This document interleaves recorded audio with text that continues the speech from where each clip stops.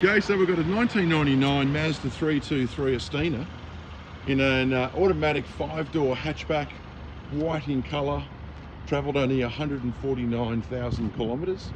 Got the alloy wheels, presents in excellent condition, certainly good value, 5999. Uh, does require a little bit of extra registration and we'll sort that out. We'll take a look at the interior.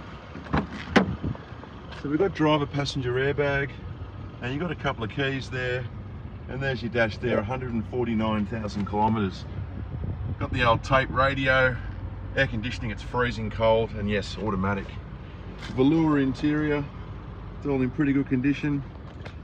There's your front passenger all looking very good. There's your back seat pretty much unmarked. And I'll just show you inside the boot. Good sized boot in here too all inquiries welcome. Please give us a call